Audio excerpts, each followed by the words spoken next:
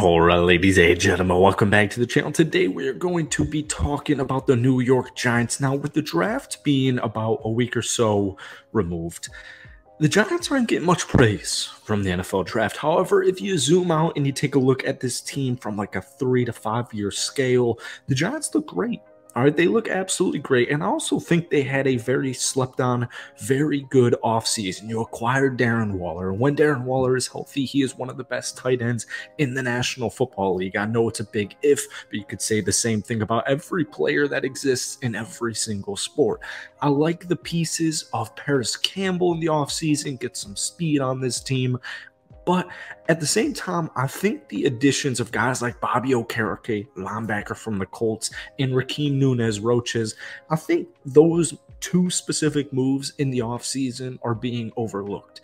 Real quick, let's take a look at Bobby Okereke because, you know, one of the biggest, I guess, kind of issues people had, NFL insiders, draft analysts, whatever it is, whatever you want to use, the issue people had with the Giants draft was that they didn't address defense as much as people were anticipating. But once again, I look at the defense as far as free agency goes with those two additions. Like, just as an example, you know, the Giants didn't have a great defense last year, right?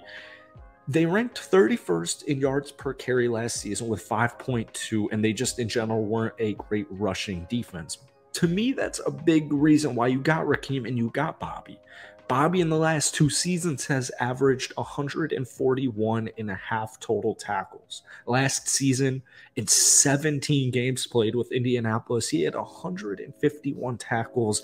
99 of those were solo. So I think those two moves were huge as far as just helping to continue to bolster your defense. Now, real quick before we get any further into today's video, if you guys enjoy it, be sure to hit that like button, hit that sub button for daily NFL content.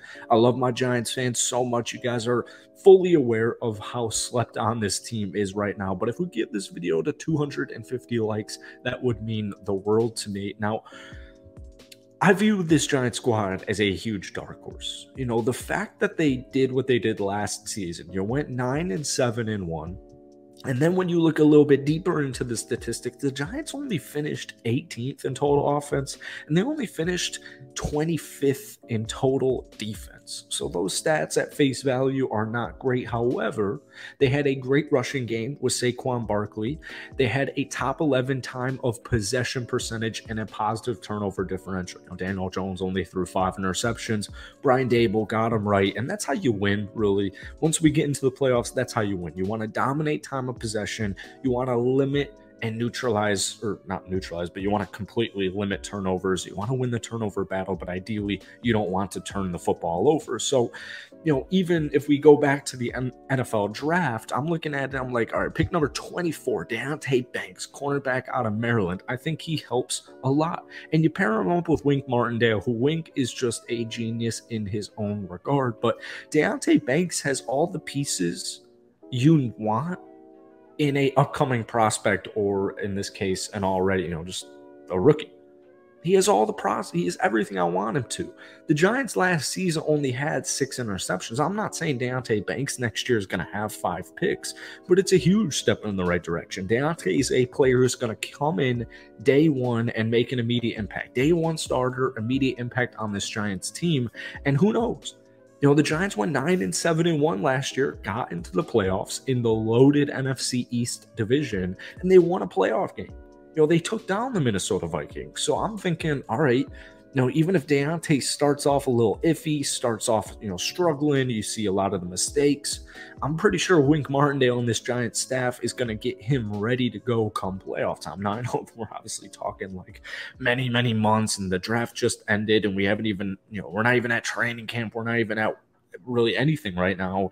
I know it's getting a little ahead of myself, but still, Deonte Banks, by the time next season ends, will have a huge impact on this Giants defense. And just to touch once again on that draft, John Michael Schmitz, center out of Minnesota, another day one starter, another guy who's going to come in and make an immediate impact. Immediate impact. All right. I love the draft pick. It gives you reliability, it gives you sturdiness. It's something at the center position that the Giants haven't had in quite some time. And it's something that they desperately wanted. And I'm loving it because John Michael Schmitz is going to be a stud. Honestly, to me, the second he steps out onto that football field, round three, pick number 73, Jalin Hyatt you know, the big thing right now is like, all right, well, his former teammate, Cedric Tillman, went just one spot later. You know, he could be Cedric Tillman's the possible number one target. You know, do the Giants have a legitimate number one target? Well, with Parris Campbell, with Jamison Crowder, with Darren Waller, and now with Jalin Hyatt, I feel perfectly okay with the Giants wide receiver staff next season. I get it. You know, every team would love the Giants specifically to help to help out Jones.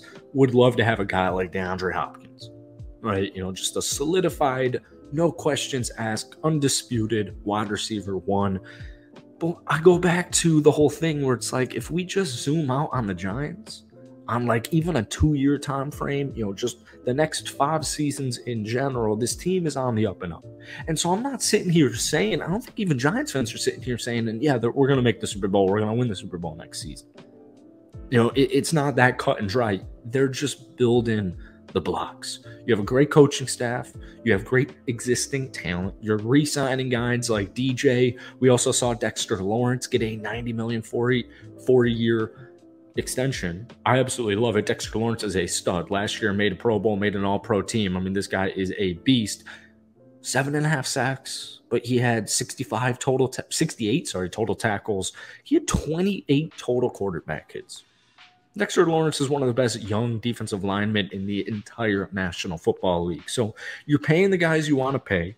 You're still remaining flexible out there and you're making moves. You're being aggressive. You're getting guys like Darren Wall. You're getting guys like Bobby Okereke, Rakeem Nunez, Roches, who once again, he's going to help out this rush defense greatly. You know, the stats for defensive linemen, defensive tackles, nose tackles, whatever it is, they're not going to blow you out of the water. Last season, in just 10 starts, played all 17 games for Tampa, but just 10 starts. He had two sacks, 33 combined tackles five tackles for loss, a couple of quarterback hits. They're just building the blocks. That really is my point here is they're just building the blocks. And then finally, we'll touch on real quick Eric Gray to help provide more depth for Mr. Saquon Barkley. Eric Gray, I know he was picked in the fifth round. I think I speak for a lot of draft insiders. I don't know how he fell to round five.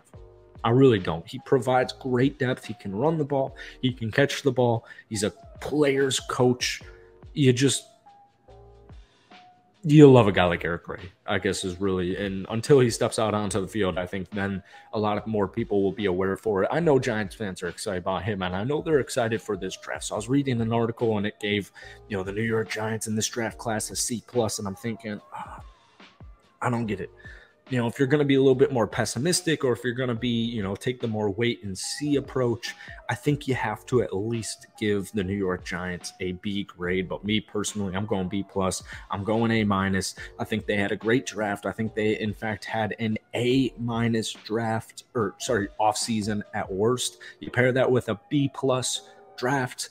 This is an A off season. This is at least an A minus off season for the New York Giants, who are already on their way to the up and up. So the Giants focused on exactly what I needed to.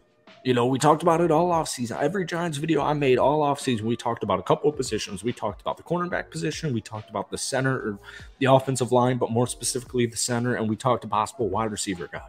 And that's what they did with their first three picks in their first three rounds. So it's hard to be upset about that. So the C plus grade, I'm just not quite get back and not quite getting behind that. I'm not going to back that one up. So let me know what you guys are thinking. Go ahead, give the Giants a total offseason grade thus far. As always, if you enjoyed it, be sure to hit that like button, hit that sub button, and I'll see you guys later.